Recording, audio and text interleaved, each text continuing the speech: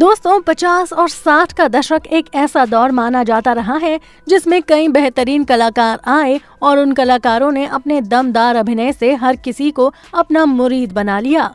और उन्हीं में से एक नाम शामिल होता है दिलीप कुमार जी का, जिन्होंने बॉलीवुड पर तीन दशकों तक राज किया है। जी हाँ दोस्तों, आपको बता दें कि बॉलीवुड के धाकड़ आवाज़ और अपनी एक्टिंग के लिए मशहूर दिलीप कुमार आज बॉलीवुड का एक जाना माना नाम है। जिन्होंने अपने हर अभिनय का लोहा मनवाया है। यही वजह है कि आज इन्हें बॉलीवुड इंडस्ट्री में किसी पहचान की ज़रूरत नहीं है। लेकिन दोस्तों, आप इनके बारे में तो सब जानते होंगे, पर आज हम आपको दिलीप कुमार के पुराने घर से रूबरू करवाने वाले हैं, जहाँ दिलीप कुमार जी का जन्म हुआ था, जो कि आज़ादी से भी पहले बनवाया गया था और आज भी मौजूद है। तो चलिए, आज हमारी इस वीडियो में हम आपको दिलीप कुमार के पुराने घर से रूबरू करवाते हैं। लेकिन इससे पहले आप हमारी इस वीडियो को लाइक करना ना भूलें।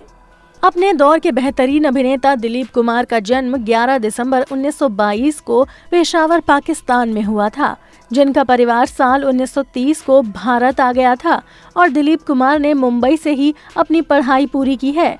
इसी दौरान उन्हें एक्टिंग का कीड़ा काट गया था और उन्होंने फ़िल्मों में जाने का मन बना लिया और काफ़ी स्ट्रगलिंग के बाद साल 1944 में आई फ़िल्म ज्वार भाटा से अपने करियर की शुरुआत की और इस फ़िल्म में किए गए इनके दमदार अभिनय ने हर किसी को इनका दीवाना बना दिया था।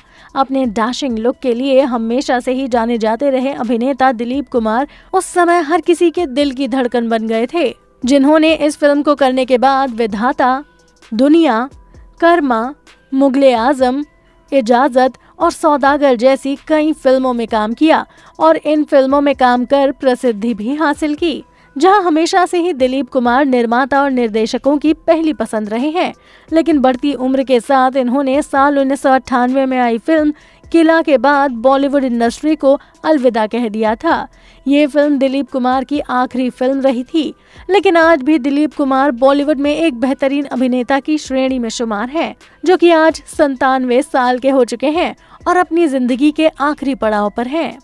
लेकिन बात करें इस दमदार अभिनेता के पुराने घर के बारे में तो आपको बता दें कि ये पुराना घर आज़ादी से भी पहले बनवाया गया था, जो कि आज काफ़ी जर्जर हालत में है बताया जाता है कि इस घर को साल 1915 में बनवाया गया था, जिसमें दिलीप कुमार का बचपन गुजरा है और इनके माता पिता यहीं के रहने वाले थे और दिलीप कुमार का ये घर आज भी उनके माता पिता और उनके बचपन की यादों से जुड़ा हुआ है। लेकिन अब दिलीप कुमार मुंबई के जुहू स्थित आलीशान घर में रहते हैं, जिसकी कीमत करोड़ों में बताई जाती है। इसके अलावा दिलीप कुमार का मुंबई में चार करोड़ का बी के फ्लैट भी है, जो दिखने में बेहद ही खूबसूरत है।